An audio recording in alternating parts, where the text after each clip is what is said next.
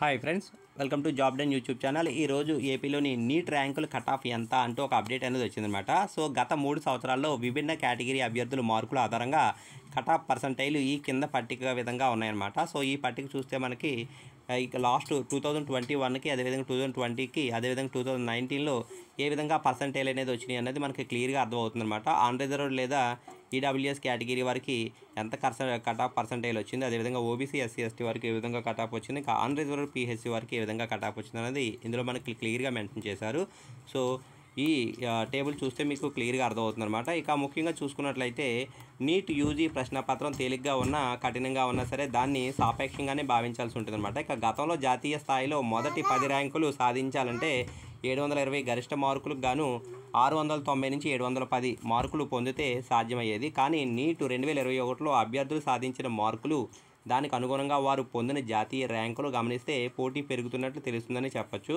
ఇక నీట్ రెండు వేల ఇరవై ఒకటి పరీక్ష రాసిన వారిలో ముగ్గురు అభ్యర్థులు ఏడు వందల ఇరవై మార్కులు సాధించిన సాధించి ఒకటో ర్యాంక్ అనేది పొందారు.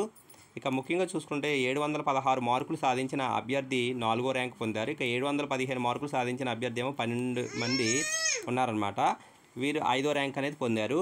అదే విధంగా మనకి ఏడు వందల పదిహేను మార్కులతో ఇద్దరు పదిహేడో ర్యాంకు ఇద్దరేమో పంతొమ్మిదో ర్యాంకు కూడా పొందారు. సో ఒకే రకమైన మార్కులు ఇద్దరు లేదా అంతకంటే ఎక్కువ మంది సాధిస్తే ప్రాధాన్యత పరంగా ఈ విధంగా ర్యాంకును నిర్ణయిస్తారన్నమాట. సో ఈ యొక్క బయాలజీలో ఎక్కువ మార్కులు సాధిస్తే మొదటి ప్రాధాన్యం తర్వాత కెమిస్ట్రీలో ఎక్కువ మార్కులు సాధిస్తే వారికి ప్రాధాన్యం ఆ తర్వాత ఫిజిక్స్లో మార్కులు ప్రాధాన్యం అనేది ఉంటుందన్నమాట. వీటన్నిటిని ఒకే రకంగా మార్కులు సాధిస్తే కనుక తక్కువ తప్పులు గుర్తించిన అభ్యర్థికి ప్రాధాన్యత అనేది ఇస్తారన్నమాట. దీనివల్ల ఒకే మార్కులు పొందిన విభిన్న ర్యాంకులు అనేది కేటాయిస్తున్నారన్నమాట.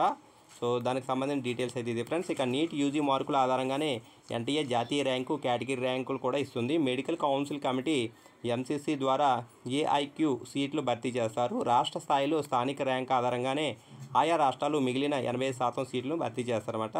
సో ఇది ఫ్రెండ్స్ మనకి ఈరోజు నీట్ ర్యాంకులు ఏ విధంగా వారు పరిగణిస్తారు అదేవిధంగా మనకి టూ థౌజండ్ నైన్టీన్ నుంచి టూ థౌజండ్ ట్వంటీ వరకు ఉన్న ర్యాంకింగ్ ఏ విధంగా ఉందంట అంతా కూడా మనం ఈ ఆర్టికల్లో మనం డిస్కస్ చేసుకున్నాం. వీడియో నచ్చితే లైక్ చేయండి ఫ్రెండ్స్. ఇటువంటి అప్డేట్స్ కోసం మన ఛానల్ సబ్స్క్రైబ్ చేయండి. Thank you